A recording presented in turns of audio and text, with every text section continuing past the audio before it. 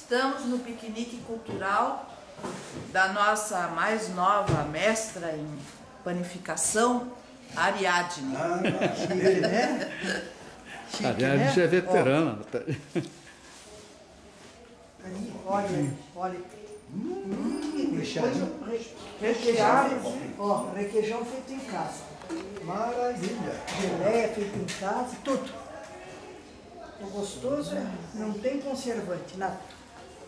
Hum. Mariana, venha. Que delícia.